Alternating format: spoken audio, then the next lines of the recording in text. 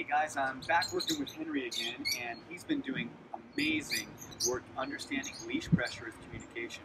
You saw his uh, stories on Instagram yesterday. His walk is beautiful.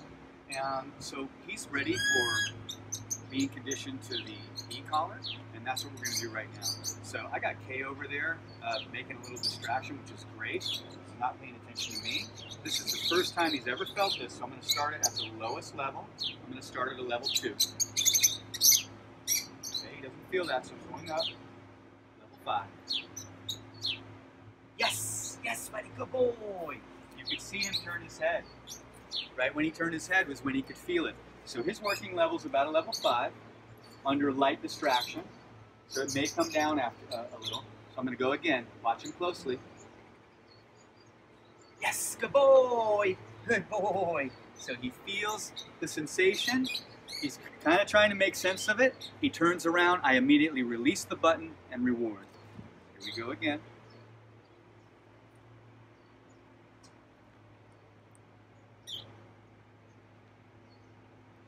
Yes, good boy. All right, perfect. Okay, he's working at a level five.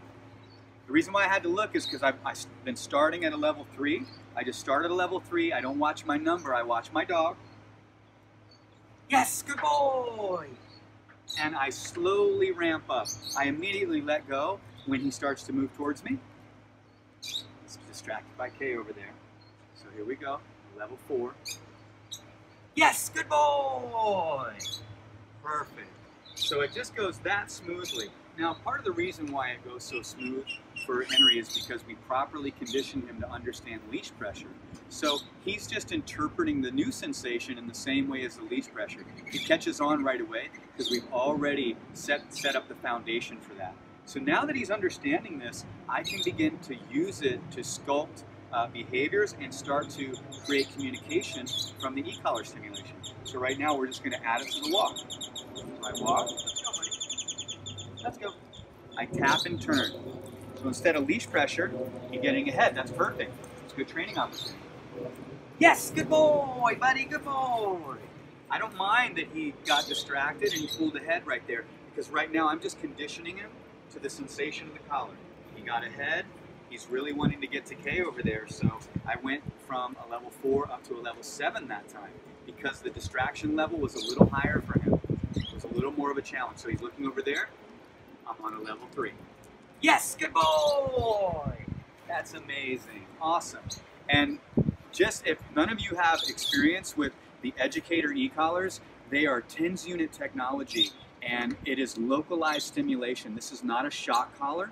It's uh, simulating touch. So it gives me the ability to reach out and touch my dog at the push of a button, and in the case of this uh, e-collar, up to half a mile away. So this is going to become an amazing connectivity tool, an amazing way to communicate and give freedom to my dog, uh, give freedom to Henry so that he can become off leash and go places and experience more of the world. I'm going to try it again. Yes, good boy! Amazing job, buddy. Good boy. Layer this in more and more, because we're going to be layering this into all the obedience that he already knows, and he's going to understand that this is just a little prompt. This is just me giving him a tap on the shoulder before I tell him, give him uh, uh, something else to do, whether it's go to place, whether it's sit, or whether it's heel with me, or a recall.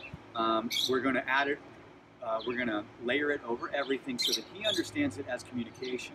So now, when we go into those situations that where he gets aggressive, where he gets uh, highly reactive because he feels unsure, we're going to be able to give him a little tap on the neck by, by touching the button of the e-collar, and he's going to know immediately, hey, I'm just going to go to mom, I'm going to go to dad, I'm going to be able to get the space I want from that thing, from that other dog, or from that person. And as we repeat this over and over, he's going to get more and more comfortable in those situations, and we're going to be able to get closer and closer to new people and dogs. So stay tuned for his progress because I'm expecting great things from Henry here. Good boy.